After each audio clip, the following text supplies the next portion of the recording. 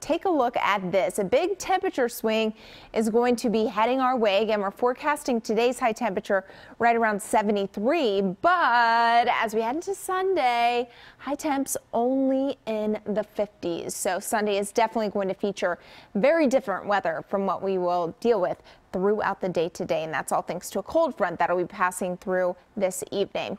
It's 48 degrees right now at Philadelphia International, 47 in Wilmington, 47 in Millville.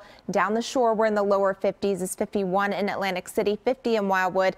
We are checking in in the mid 40s up there in the Poconos, and locally it's 45 in Pottstown, 48 in Media, Mullica Hill at 48. We have 51 in Palmyra. It's 47 up into Doylestown and Mount Holly. You guys are checking in around 45 degrees. Now, showed you those foggy conditions, those pictures from our weather watchers. well. The calm winds are not helping with that situation. In fact, they are contributing to the fogginess across the region and reduced visibilities.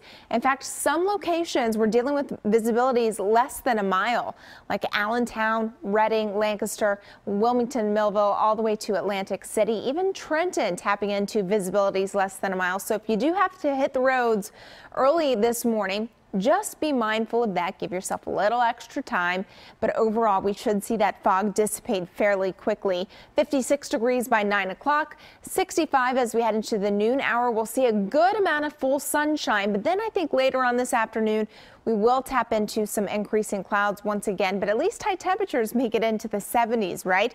Overall quiet on storm scan 3 right now, but as I zoom out, a system located up to our north and west and a cold front associated with that is what's going to be swinging on through as we head into this evening. So tracking that for you here on future weather. Again, we'll see the fog kind of dissipating and breaking up some sunshine as we head into the afternoon. Those clouds begin to increase from the west. And then I think between about 6 and 10 10 o'clock. We'll see some showers, maybe even a thunder shower passing through the I-95 corridor. So if you are heading out to uh, the Phillies game, probably the first couple of innings will be just fine. But later on in the game, we could deal with a little bit of a rain delay. And also Penn relays should go on just fine today because I think uh, the rain holds off until after those are done. Here we are at 11 o'clock, a stray shower kind of lingering around. Then we dry out overnight. We should see more clouds around across the region as we head into Sunday. Highs today, though, a little bit cooler down the shore. Also up in the Poconos, we'll tap into high temps in the 60s. But as that wind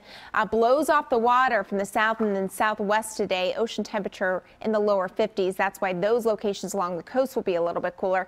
But further inland, we're talking about those high temps right in the 70s. Now, beyond this weekend, that jet stream lifts way up to the north, especially as we head into Tuesday and Wednesday. So what does that mean for us? Well, here is a look. We're looking at 70 78 degrees as we head into Tuesday, Jan, 84 on Wednesday, and then 86 on Thursday. I mean, feeling like summer in Philly. Look at that stretch. Loving I love it. it, Chelsea. Thank you.